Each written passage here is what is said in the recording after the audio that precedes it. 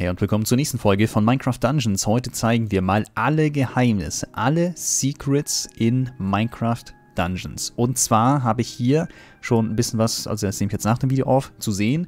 Wir haben die gruselige Gruft, die matschige Höhle sind Bonuslevel, die man so speziell in den Leveln finden muss. Wir haben den Erzhafen, wir haben das Kellergeschoss und wir haben hier oben Fragezeichen.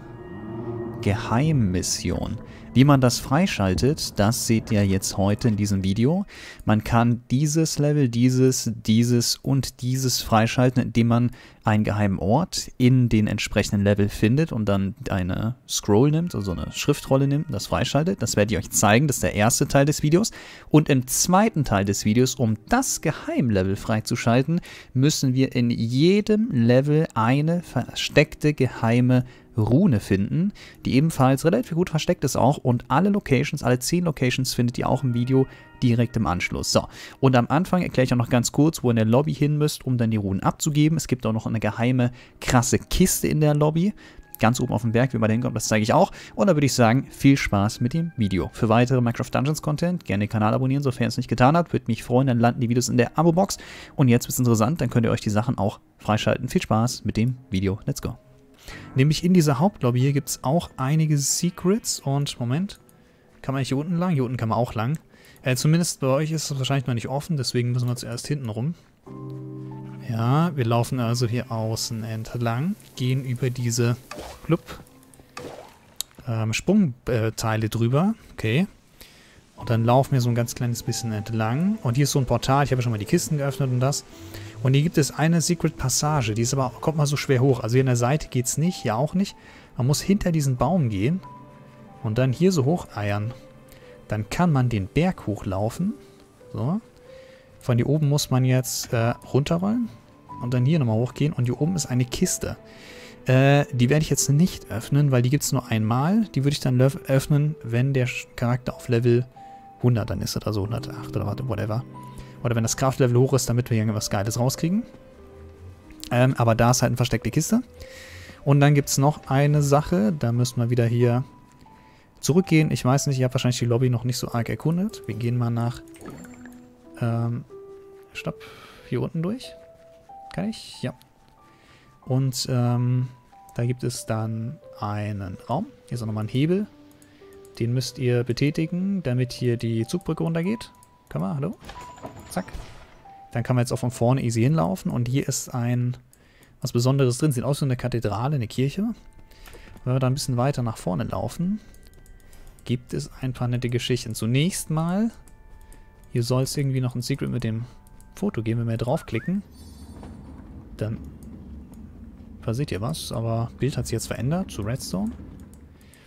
Und hier vorne haben wir jetzt einen Runenquest sozusagen. Hier gibt es 1, 2, 3, 4, 5, 6, 7, 8, 9, 10 Runen, die in jedem Level versteckt sind von den, ähm, ja, von den 10 Leveln, die man so durchspielen kann, von den 10 Standardleveln. Und die sammelt man, da muss man den goldenen Button drücken und dann schaltet man ein Bonuslevel frei. Und das zeige ich euch jetzt ebenfalls. Und dafür müssen wir nochmal sozusagen erstens die Runen aus allen Leveln sammeln und natürlich die Secret Orte oder die Secret Level vorher noch freischalten oder können wir mit gleichzeitig freischalten, würde ich sagen. Das mache ich jetzt mal. Ich zeige euch, wo alles versteckt ist, weil da kommt man halt nicht so allzu easy drauf in der Regel. Naja, dann äh, legen wir los mit, dem, mit den ersten Sachen. Let's go.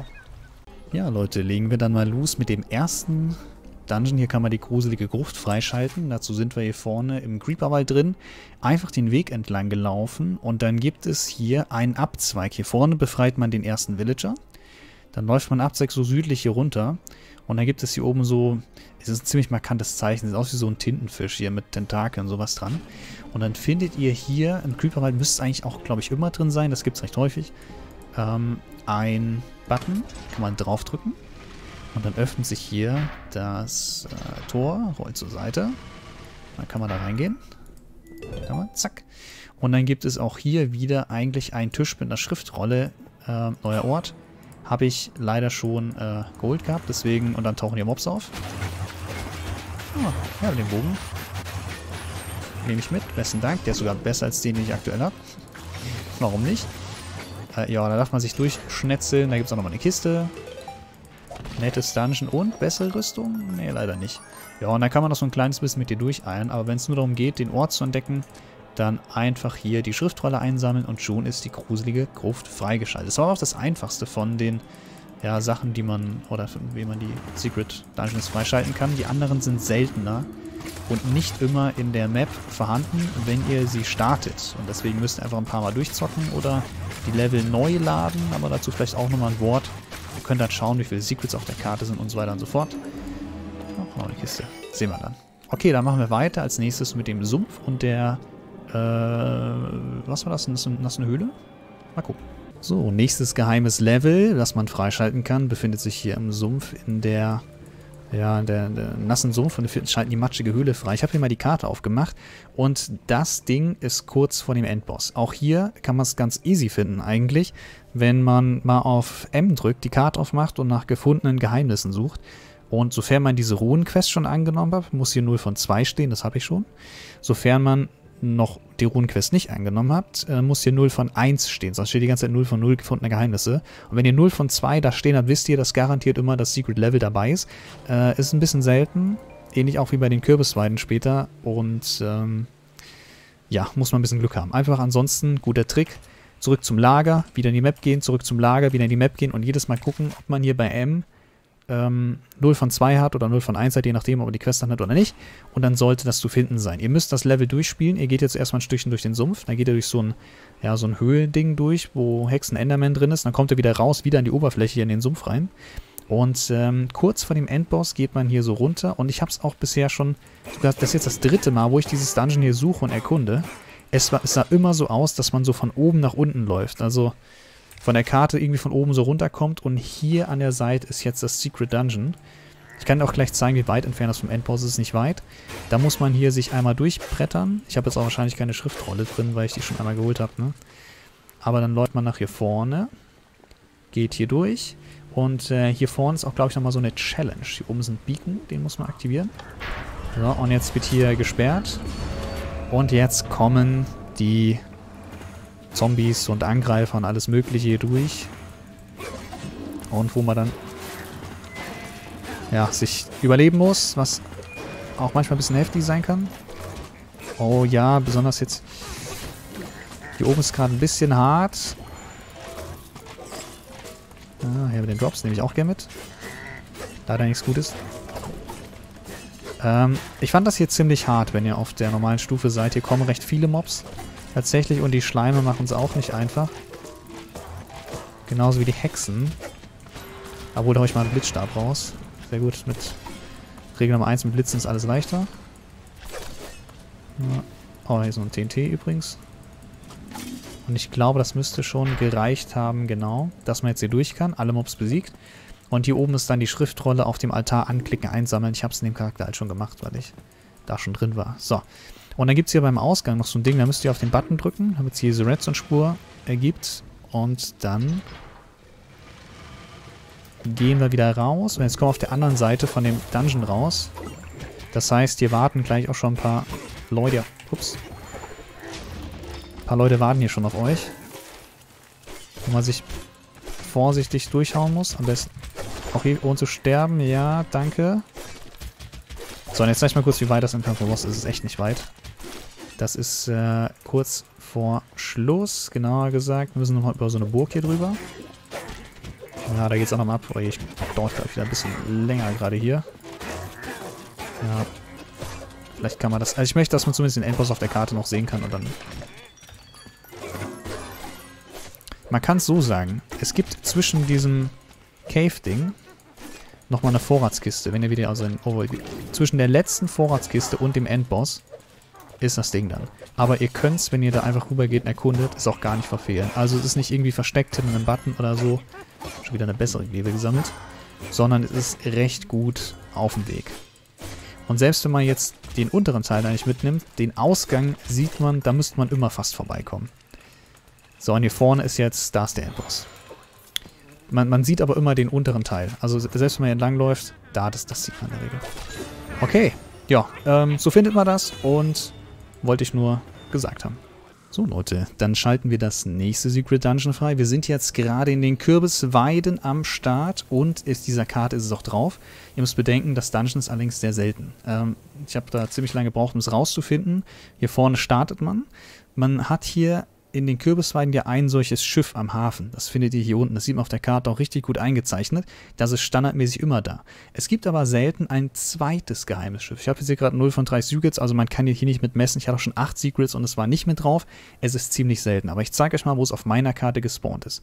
Und zwar hier unten kommt entlang gelaufen. Ich habe jetzt mal den Anfangsweg auch wieder geskippt. Und hier ist ein markanter Orientierungspunkt. Nämlich hier, wo es dieses Vor anfängt. Hier vorne ist zerstört und hier gibt es diesen Weg nach oben, wo auch oben Mobs drauf sind und wo man noch ein anderes Secret finden kann, nämlich die Runen diesem Level. Aber wie gesagt, Runen machen wir nochmal vielleicht ein anderes Thema. Da geht es hier oben lang. Haben wir einen so einen langen Weg.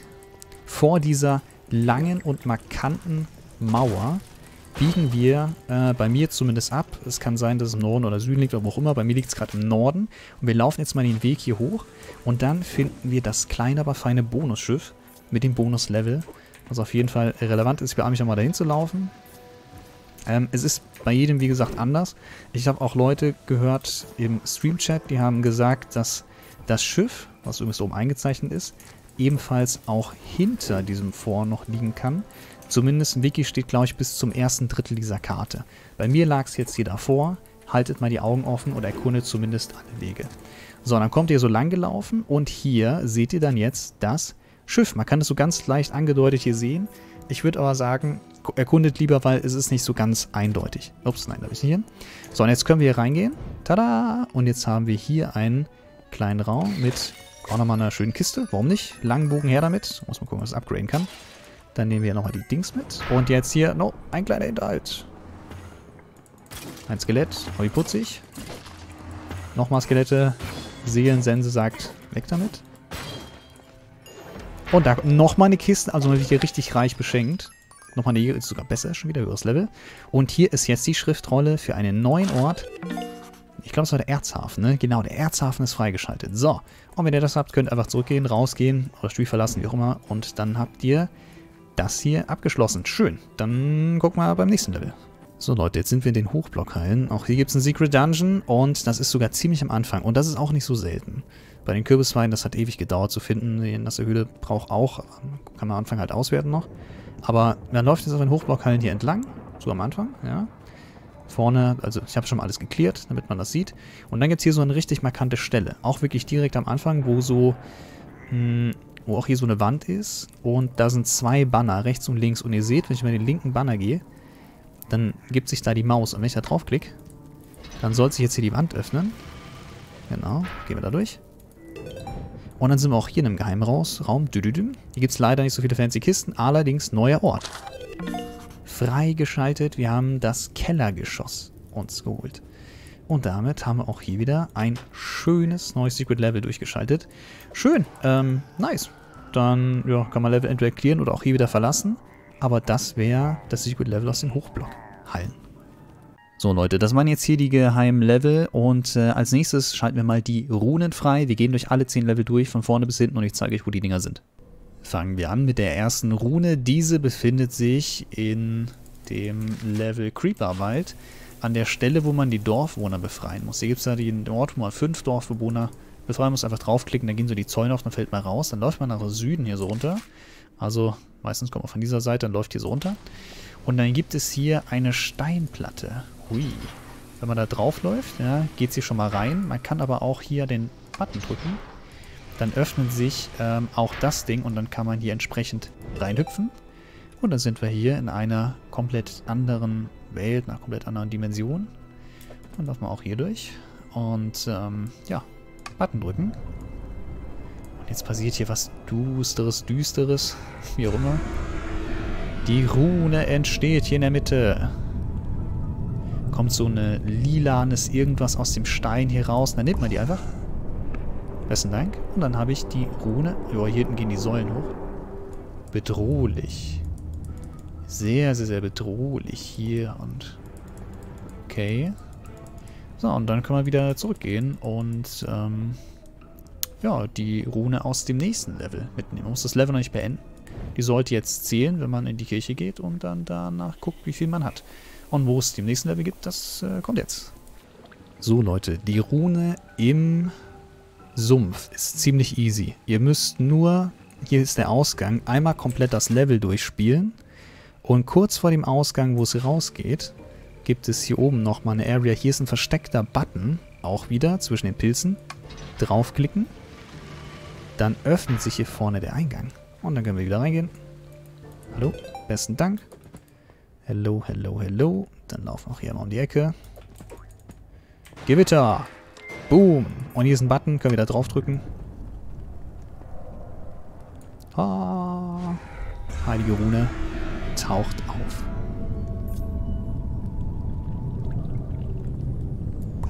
Ja, damit. Jetzt habe ich es eingesammelt. Schön. Und dann können wir einfach rausgehen.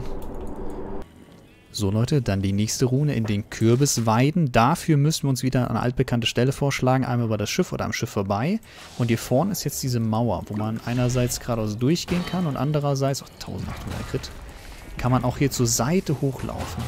Und hier oben gibt es so eine Burgmauer, in Anführungszeichen, wo man landen kann. Hier gibt es noch ein paar Mobs, wo, also hier ist mal ein bisschen anders, ne? aber hier gibt es ein paar Mobs, die man noch klatschen kann. Ach komm schon weg mit euch hier. Und dann, ähm, ja, einmal die Mauer entlang. Und da gibt es hier eine Stelle, wo es nicht mehr weitergeht. Hier gibt es teilweise mal eine Kiste, die ist drauf. Hier gibt es auch einen Blumentopf, der ist drauf. Aber hier hinter diesen Kisten gibt es nochmal einen Schalter. Den kann man drücken und dann geht hier die, die Wand auf. Und dann haben wir hier auch wieder die nächste Rune aus den Kürbisweiden. Schnappen wir uns auch mit. Und ist, ja, recht nice. Draufdrücken. Man muss auch gar nicht so lange warten, immer um das einzusammeln, aber ich warte mal so ein bisschen auf die Animation. Ja, Hauptsache man hat's. Eingesammelt, fertig. Dann kommt hier wieder der Turm hoch und alles mögliche. Schön, aber das... Nicht, dass er mal runterrollt jetzt. Aber das war's dann erstmal von diesem Level. Und jetzt gehen wir weiter zur nächsten Rune. So, dann sind wir auch schon in der Kakteenschlucht. Und hier gibt es eine recht schöne Stelle, die kann man sich gut merken. Hier ist ja einmal der blaue Schlüssel und der goldene Schlüssel. Der blaue Schlüssel ist meistens links, der goldene da oben rechts.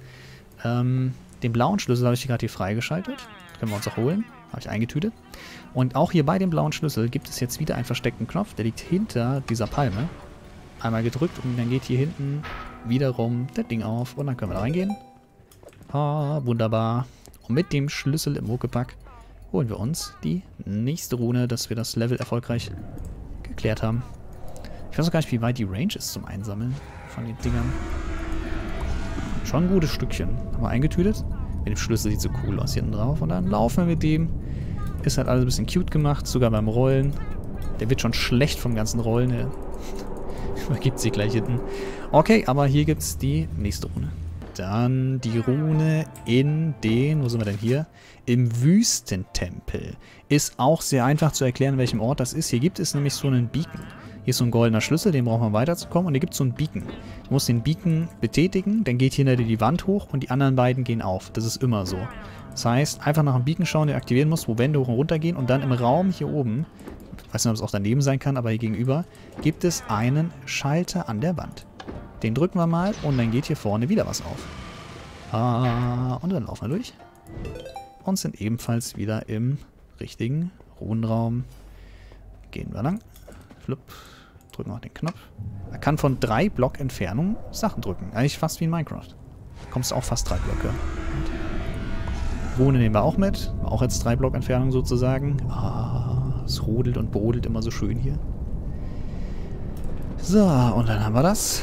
Und dann geht's auch wieder zurück. Und dann haben wir die Rune für den Wüstentempel gefunden. Weiter geht's.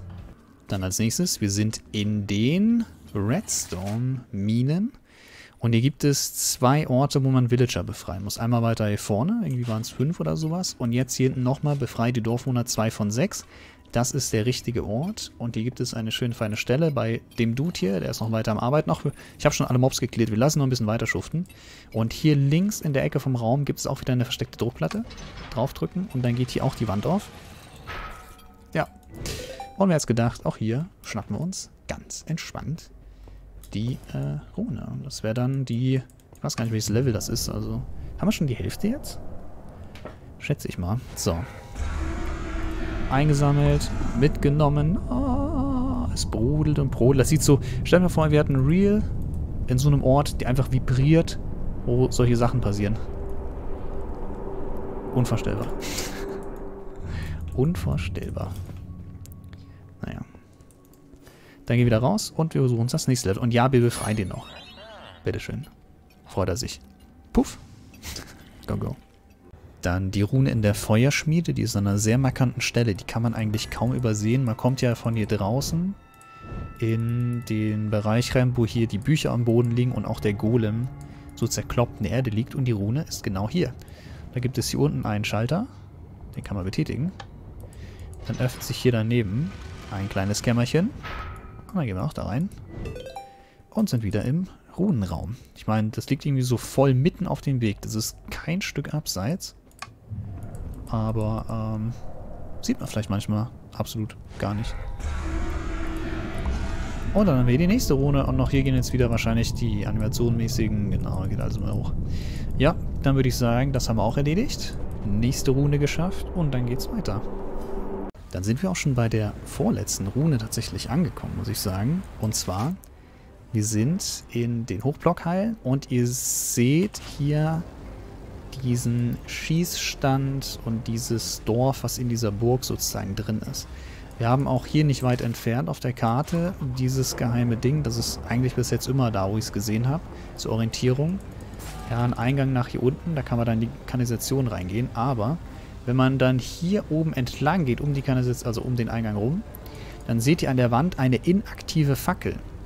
Ja, und bei der inaktiven Fackel einfach draufklicken. Dann öffnet sich hier die Wand. Und wer hätte gedacht, dort gibt es wieder einen Eingang.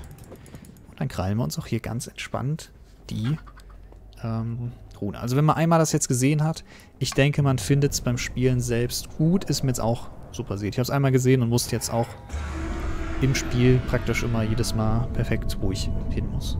Bis auch vielleicht einmal bei den Minen, wo ich mir sicher war, ob ich vielleicht davor, bei den Villagern oder dahinter. Aber dann nehmen wir auch hier die Rune mit. Besten Dank. Und dann fehlt eigentlich nur noch eine einzige, denke ich. Ja, übrigens, ich habe mir mal äh, bei den Cosmetics das Cape angelegt und ihr auch mein Baby Chicken als Begleiter geholt. Wenn ihr Hero-Edition habt, ihr könnt hier bei euren Gegenständen auf kosmetisch gehen und die Sachen an und ausrüsten. Und dann habt ihr so ein rotes Cape. Sieht irgendwie ein bisschen weird aus. Ich bin ein, äh, ein, ein, ein Adliger. Umdrehen, dann mit Cape wackeln. Ähm, ja, oder heldenmäßig. Schön, und jetzt suchen wir nochmal die letzte Rune. So, Leute, und dann die letzte Rune im Obsidian-Gipfel. Auch sehr, sehr einfach zu merken und zu finden. Ihr kennt eventuell, wenn ihr dann wieder reingeht von den Burgmauern, klappt euch hier durch, und hier gibt es so einen Raum, da kommt man immer nie ran. Der ist auf der Karte eingezeichnet, ist auch so relativ breit hier vorne markiert, ihr habt es gerade schon gesehen. Ich weiß nicht, warum wir das vorher auch nie äh, gesehen hatten im mit den Kollegen. Wir haben rumgeklickt, was geht, aber wenn man hier so hinfährt, man sieht schon, man muss das Bücherregal drücken. Und dann geht das hier auf. Ja, und der Unterschied ist hier, das Hühnchen geht schon mal rein. Also, das war einfach, das, das findet ihr ziemlich easy. Einfach bei diesem Raum mit dem langen Bücherregal, wo hier, wo man so nicht reingekommen ist. Bücherregal tippen, geht durch.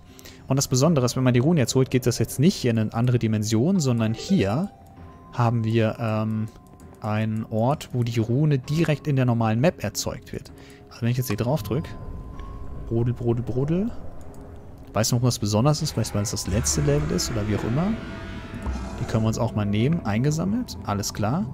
Und dann gibt es auch immer noch zwei Kisten, die sind ganz entspannt. Hol mal mit. Eine finstere Rüstung, nehme ich. Habe ich irgendwas, wo ich jetzt mein Level noch schnell boosten kann? Ne, ich habe nichts. Okay, und ich sehe die den Hammer 67, aber leider auch schlechter. Also das Säbel ist ja schon echt strong, 73. Okay, was Besseres gab es hier nicht. Und dann, ja, hätten wir das eigentlich auch soweit. Ich muss jetzt mal gucken, für mich, also, wir können jetzt das, also die Ruhen werden jetzt gleich abgegeben, zeige ich euch auch noch. Und ich muss mal für mich gucken, ob ich jetzt im Abenteuerlevel, da bin ich mich gerade drin, mal den Endboss hier mache. Mal schauen, ob ich den schaffe. naja. So Leute, jetzt haben wir alle Ruhen gesammelt. Dann gehe ich jetzt mal in Richtung zum, äh, hier unten durch. Zu dieser Kirche oder was auch immer das ist. Oh, nein. Nein, nein. Danke. Und das Hühnchen folgt mir als strahlender Held, Eroberer der Level. Ähm, gehen wir mal da durch. Und ich würde sagen... Passiert eigentlich, wenn man auf den Hund klickt? Wofür ist das gut? Also da konnte man mal draufklicken, dann passiert irgendwas. Oder nee, damit hat man den Quest gestartet, kann das sein? Jetzt kann ich da nicht mehr draufklicken, das konnte ich nur einmal am Anfang. So, und jetzt drücken wir den Button. Jetzt leuchten alle Runen, also sonst wird halt nur eine leuchten. Und jetzt öffnet sich etwas. Oh. oh mein Gott. Darf erstmal einen Blitzfahrt rauslassen. Okay. Ja, die Frage ist jetzt folgende. Ähm, sind die Kisten einmalig? Weil dann werde ich diese hier auch nicht öffnen, sondern erst mit Level 108 oder so, dass ich die maximal Gegenstände kriege. Also sie sind wahrscheinlich einmalig. Das heißt, die Kisten lasse ich geschlossen. Ich öffne jetzt nicht. Machen wir mit 100. Jetzt habe ich auch einen neuen Ort freigeschaltet, Level freigeschaltet. Fragezeichen, Fragezeichen, Fragezeichen. Ähm, ja, das heißt, geben wir uns auf. Für wann anders. Für später. Ich kann jederzeit hier wiederkommen ne, und sind noch da. Gut, und jetzt habt ihr auf der Map, können wir gleich auch mal hingehen. Müssen wir wieder zurückeiern. Ähm, einen... Das, oh, das gibt mir auch Speed. Habe ich gar nicht im Kopf gehabt. Einfach alle Artefakte gleichzeitig drücken. Ich gleich mal machen. Ähm, das neue Level wird jetzt neu eingeblendet. Und zwar oben links. Frauenzeichen, Frauenzeichen, Frauenzeichen. Ich habe auch jetzt hier End aller Tage als Schwierigkeitsgrad. Da bin ich ein bisschen zu hart, also der ist noch zu hoch für mich. Also empfohlene Kraft 86, da bin ich noch zu niedrig. Natürlich kann ich auf niedrigen Leveln gehen, aber naja. Ja, und das werden wir wohl auch nochmal in einem Video machen, würde ich sagen. Aber für die Secrets, ich denke mal, wir haben alles jetzt freigeschaltet gezeigt. Vielen Dank fürs Zuschauen. Wie es weitergeht, seht ihr vielleicht im nächsten Video. Ich denke mal, das Bonus-Level können wir auf jeden Fall noch machen. Und bis dann das Gachen. Ciao, ciao.